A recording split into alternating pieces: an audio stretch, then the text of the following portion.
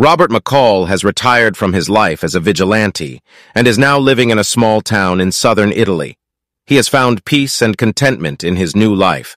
But that peace is soon shattered when he discovers that his new friends are being threatened by the Sicilian mafia.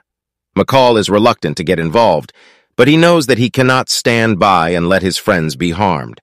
He once again puts on his old hat and becomes the equalizer, taking on the mafia and bringing them to justice. Along the way, McCall is forced to confront his past and the dark secrets that he has been keeping hidden. He must also make a choice about his future. Will he continue to fight for justice, or will he finally give up his old life for good? Here are some possible plot points that could be explored in the film. McCall's relationship with his new friends, and how he is forced to choose between them and his own safety. The challenges of living a quiet life after a life of violence the temptation to give up on fighting for justice, and the strength it takes to keep going. The dark secrets that McCall is hiding, and how they come back to haunt him. The final showdown between McCall and the Mafia and the outcome of that battle. I hope this gives you a better idea of what the possible storyline of The Equalizer 3 could be.